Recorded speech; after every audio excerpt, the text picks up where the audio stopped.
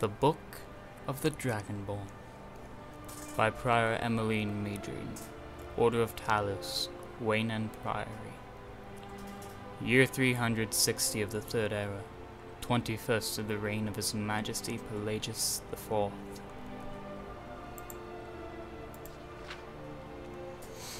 Many people have heard the term Dragonborn.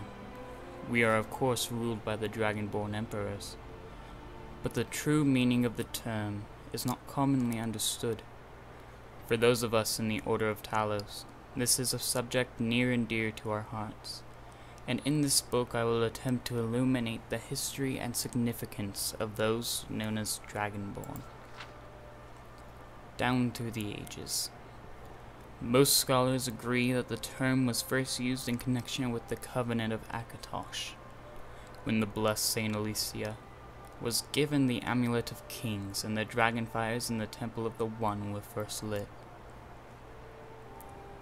Akatosh, looking with pity upon the plight of men, drew precious blood from his own heart, and blessed Saint Alessia with his blood of dragons and made a covenant that so long as Alessia's generations were true to the dragon blood, Akatosh would endeavor to seal tight the gates of oblivion, and to deny the armies of Daedra and Undead to their enemies, the Daedra-loving Ayleids.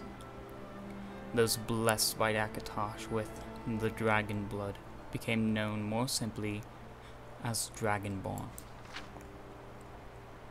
The connection with the rulers of the empire was thus from the was thus there from the beginning. Only those of the dragon blood were able to wear the amulet of kings and light the dragon fires. All the legitimate rulers of the empire have been dragonborn.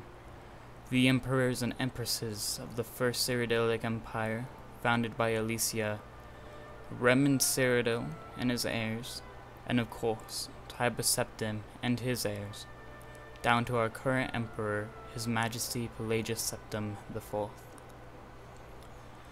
Because of this connection with the emperors, however, the other significance of the Dragonborn has been obscured and largely forgotten by all but scholars and those of us dedicated to the service of the blessed Talos. Who was Tiber Septim? Whoops. Very few realize that being Dragonborn is not a simple matter of heredity being the blessing of Akatosh himself. It is beyond our understanding exactly how and why it is bestowed. Those who become emperor and light the dragonfires are surely dragonborn. The proof is in the wearing of the amulet and the lighting of the fires. But were they dragonborn and thus able to do these things? Or was the doing the sign of the blessing of Akatosh descending upon them? All that we can say is that it is both and neither. A divine mystery. The line of septims have all been dragonborn, of course, which is one reason the simplistic notion of it being hereditary has become so commonplace. But we know for certain that the early Cyrodiilic rulers were not all related. There is also no evidence that Reman Cyrodiil was descended from Alessia, although there are many legends that would make it so most of them dating from the time of Reman likely attempts to legitimize his rule.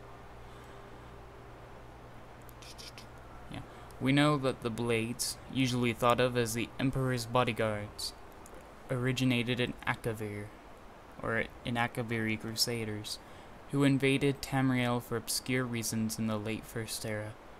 They appear to have been searching for a Dragonborn. The events at Pale Pass bear this out and the Akaviri were the first to proclaim Reman Cyrodiil as Dragonborn. In fact, it was the Akaviri who did the most to promote his standing as emperor, although Reman himself never took that title in his lifetime. And of course, there is no known hereditary connection between Cyber, wow, Tiber Septim and any of the previous Dragonborn rulers of Tamriel.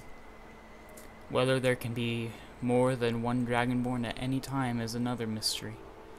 The emperors have done their best to dismiss this notion, but of course the imperial succession itself means that at the very least there are two or more potential Dragonborn at any time.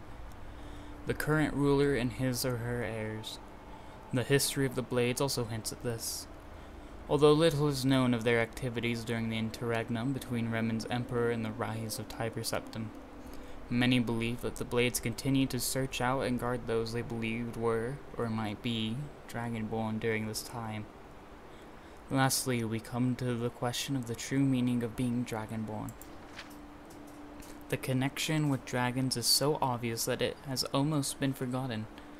In these days when dragons are a distant memory, we forget that in the early days being dragonborn meant having the dragon blood. Some scholars believe that was meant quite literally, although exact significance is not known. The Nords tell tales of dragonborn heroes who are great dragon slayers, able to steal the power of the dragons they killed. Indeed, it is well known that the Akaviri sought out and killed many dragons during their invasion, and there is some evidence that this continued after they became Reman Cyrodiil's Dragon Guard. Again, the connection to dragons. The direct predecessor to the blades of today.